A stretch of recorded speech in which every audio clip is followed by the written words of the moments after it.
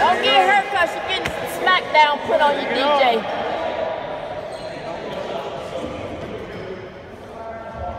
Hey, play like you want to play. Let's go.